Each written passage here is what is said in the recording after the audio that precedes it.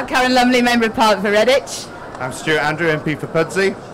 I'm Flora Coleman, not a Member of Parliament. I'm Bandit Note Iain Stewart, MP for Milton Keynes South. And we're doing this for Global Make Some Noise. And we're going to, I'm nominating. Uh, who shall I nominate? Jessica Lee, Member of Parliament for Erewash. And I'm going to nominate Michael Fabricant. I'm going to second both of those.